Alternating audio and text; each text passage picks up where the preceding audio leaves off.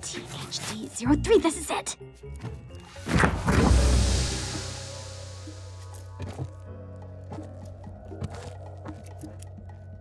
Polar bear fur.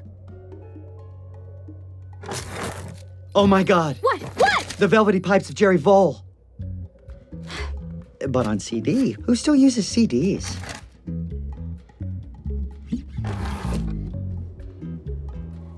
Carrots, if your otter was here, he had a very bad day. Those are claw marks. You ever seen anything like this? No. Oh, wait, look. This is him. Emmett Otterton. He was definitely here. What do you think happened?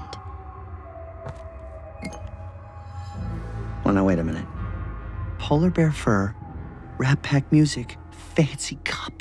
I know whose car this is. We gotta go. Why? Whose car is it? The most feared crime boss in Tundra Town. They call him Mr. Big, and he does not like me, so we gotta go. I'm not leaving. This is a crime scene. Well, it's gonna be an even bigger crime scene if Mr. Big finds me here, so we're leaving right now.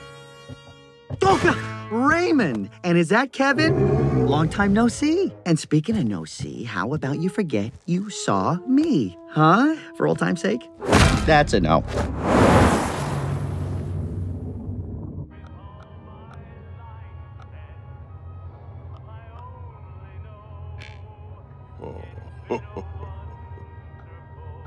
what did you do that made Mr. Big so mad at you?